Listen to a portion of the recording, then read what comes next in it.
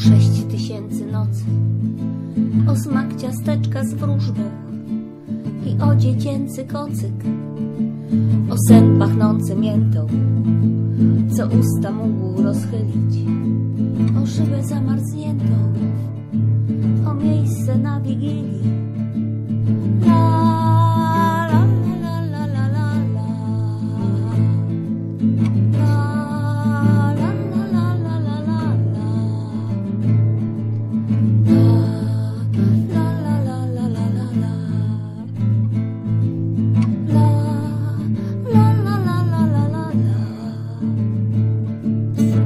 Poznałam cię za późno, o kilkadziesiąt wierszy, o kłótnie przed podróżą i skóry dotyk pierwszy, o słowa ulubione, przy których zasypiałam, o miejsce na pierścionek,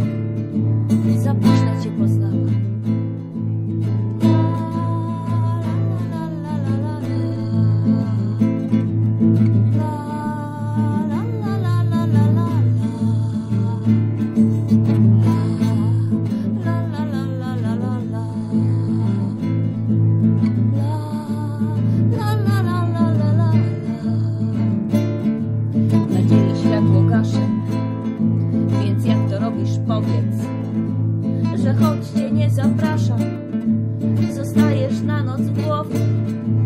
Rozejrzyj się, mówiłam, są inne lepsze, młodsze. Jak dziecku tłumaczyłam, bo chciałam, żebyś odszedł.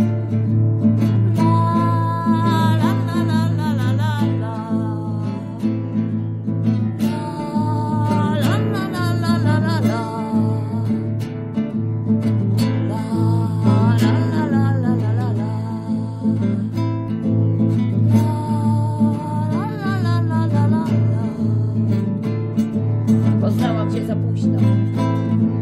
O miejsce w moim domu.